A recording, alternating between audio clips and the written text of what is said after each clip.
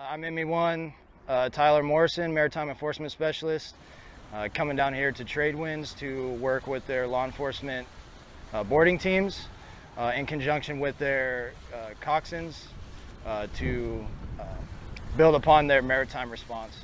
Today we are doing transferring boarding team from one vessel to another. What you guys should be is be matching each other, and then as soon as you hear that three, two, one pinch, turn in, get get that uh, that suction on that boat so you can put over your boarding team. It would be for a vessel that's not compliant at the beginning, or maybe they're unaware that you're trying to get them to stop.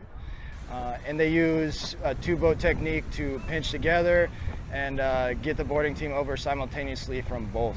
It's it's a lot of learning for me. I learn a lot of different stuff from the US Coast Guard and the Guyanese Coast Guard how they operate. And so everyone has different style of doing their their work or based on what they do in the country. So we kind of trying to adapt whatever we learn and try to take it back home.